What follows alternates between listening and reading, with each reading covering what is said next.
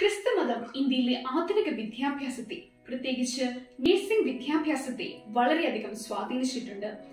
Indian ജനസംഖ്യയിലെ മൂന്ന് ശതമാനം മാത്രമേ ക്രൈസ്തവരുള്ളൂ എങ്കിലും മുപ്പത് ശതമാനത്തോളം വരുന്ന നഴ്സിംഗ് ബിരുദധാരികൾ പരമ്പരാഗത ക്രൈസ്തവ കുടുംബങ്ങളിൽ നിന്നുള്ളവരാണ്.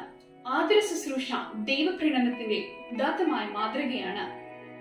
സേവനവും ഭക്തിയുമാണ് നഴ്സിംഗ് വിദ്യാഭ്യാസത്തെ സ്വാധീനിക്കുന്ന പ്രമാണവാക്യം. ഈ കാരണത്താലാണ് തങ്ങൾ അജ്ഞാതരായി ജനങ്ങളുടെ ശുശ്രൂഷയ്ക്കായി ലോകമെമ്പാടും പോയി നഴ്സുമാർ സേവനം ചെയ്യുന്നത്.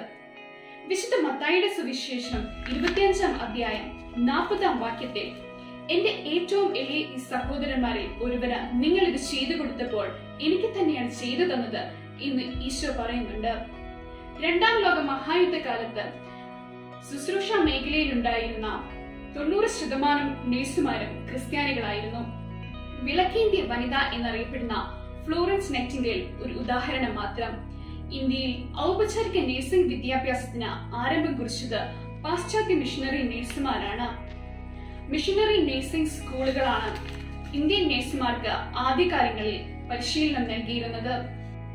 താഴ്ന്ന സാമ്പത്തിക സാഹചര്യങ്ങളിൽ മാനവ വിഭവത്തിനുണ്ടായ ശ്രദ്ധേയമായ പുരോഗതിയും സ്ത്രീ വിദ്യാഭ്യാസത്തിനുണ്ടായ വളർച്ചയും തൊഴിലവസരങ്ങളുടെ ലഭ്യതക്കുറവും ക്രൈസ്തവ യുവജനങ്ങൾക്ക് നഴ്സിംഗ് എന്ന തൊഴിൽ തിരഞ്ഞെടുക്കുവാൻ പ്രേരിപ്പിച്ചു.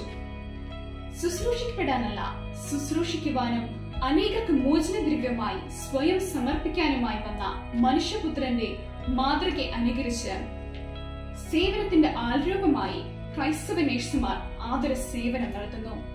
പ്രതിഫലത്തേക്കാൾ ഉപരിയായി നിസ്വാർത്ഥമായി സേവനമനുഷ്ഠിക്കുന്ന നഴ്സുമാർ ഭൂമിയിലെ കാണപ്പെടുന്ന മാലാഖമാർ തന്നെയാണ്.